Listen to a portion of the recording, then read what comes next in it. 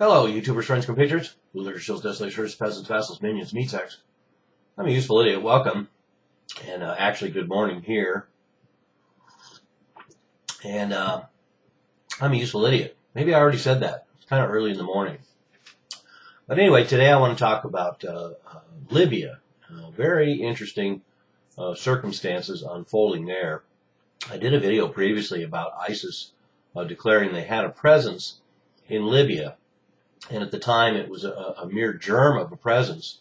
And uh, since then it has blossomed, and so we see this uh, uh, very uh, interesting situation.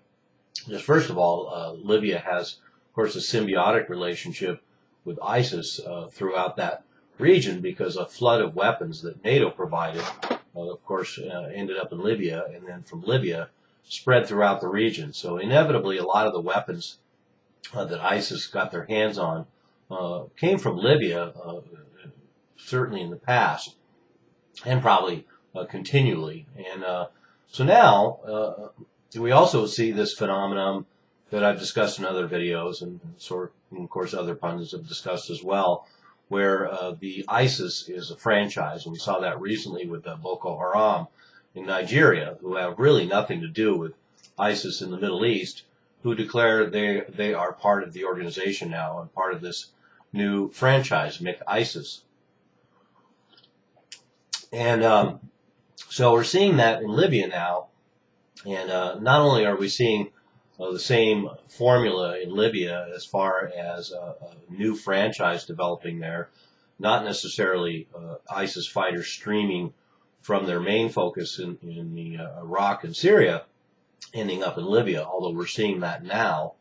Um, initially, it's just groups there uh, declaring that they are part of that same movement. And because of ISIS' success, uh, we're going to see more of that. We're going to see uh, ISIS filling this vacuum. But uh, another another layer of this same formula that we've seen is uh, we we see once again in uh, Libya that forces that used to be on the so-called Western side, the United States side, who are fighting against the Gaddafi government, and then we're serving the new government in uh, Libya are now declaring their allegiance to uh, ISIS.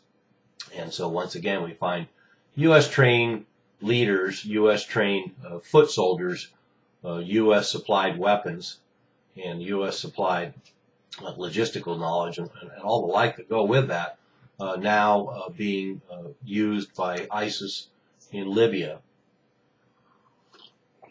And overall, I think one of the things that's interesting is, like I say, seeing this pattern that ISIS, uh, they thrive on chaos. Uh, they fill these vacuums, and, that, and, that's what we're seeing everywhere. Uh, Nigeria being uh, certainly a variation, but uh, Syria and, and, Iraq and Libya certainly all uh, fall into that category of complete states that are falling into chaos, thriving, and, and ISIS is thriving in that situation and also, uh, like I've talked about, uh, other uh, opportunists using these perpetual cycles of violence to uh, uh, further their agenda. We saw we see ISIS doing that as well. Uh, they're starting this cycle of violence in in Libya, including that gruesome, if if it's real, the beheading of over 20 Coptic Christians.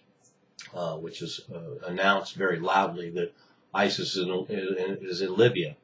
And so previously I was a, a, little skeptical just how much real ISIS presence there was in Libya, but now it's pretty safe to say uh, that through this uh, methodology that they use, ISIS is now entrenched and spreading rapidly in Libya, and in fact, uh, uh, uh forces loyal to uh, ISIS there are now taking on so-called Al Qaeda elements. They're taking on local militias. They're taking on the what's left of the Libya government, and they're also taking on uh, uh, General Hifter, uh, the previous government supporter who is now attacking the uh, Islamic militias and uh, going after the Libyan government. So we have another player in this Libyan clusterfuck now, uh, ISIS. So all, all the more tragic for Libya to have all these bad actors all in one place, tearing their country apart.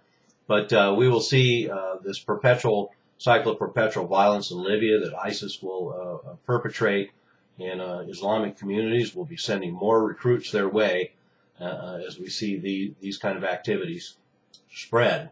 And uh, notable in one of the articles I read uh, that uh, Gaddafi uh, turned out to be a very smart man because uh, he gave a speech uh, before uh, Libya fell to NATO in February 2011, and he said that quote they will turn Libya into another Afghanistan, another Somalia, another Iraq.